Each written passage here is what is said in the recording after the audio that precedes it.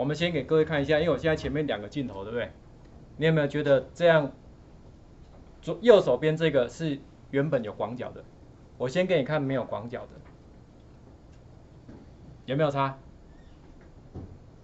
但是你们有没有用过这个？有人有用过吗？你的手机，因为大家现在应该都知道，你如果喜欢自拍的人，你都不觉得头好大一颗吗？所以有人就会买这种东西啊，广角镜啊。让你的手机有比较好的视力啊，所以我这里有写一篇文章，在哪里？在这边教材里面好像是第第几个？第十三个。其实这个东西你也可以去买，因为我刚好上礼拜去逢甲夜市，我发现这个竟然三十高块，我都要被被两百几块，但是我没有实际比较一下了哈，就是这个是两用的，就是有微距的跟那个广角都有。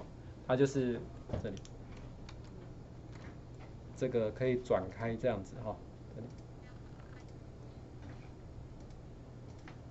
就是这个啊，它是可以转开的，所以它有两个，一个是微距的，然后这个是微距，这个是广角，啊，就有两个啊，所以把它锁在一起也是变广角这样。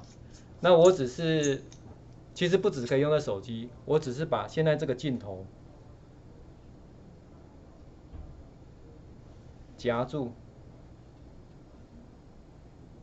我现在没有夹的很很很对哈，这样有没有觉得比较广角一点？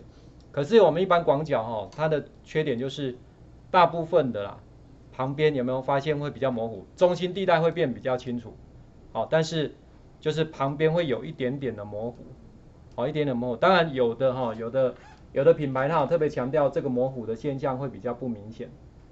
可是其实你也可以用在我们网络摄影机里面，等于说如果你买的时候不像我买这种是广角的，那你就买这一种的，现在帮他戴个眼镜就好了，反正各位都很会配眼镜嘛，对不对？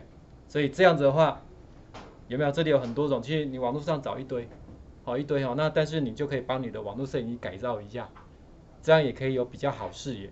尤其有些人，我不知道各位有没有在开视讯会议。有时候同学讨论的时候，其实也会用视讯啊，对不对？你如果老是用那个什么，用 notebook 前面那一个，你只有一种感觉，为什么头这么大颗？你加上去之后，头就会比较小颗一点哦。你看这个标准的，有没有这样变比较小颗一点？这样两个比较一下，这个是 notebook 有戴眼镜的，对不对？这样是不是就有差别？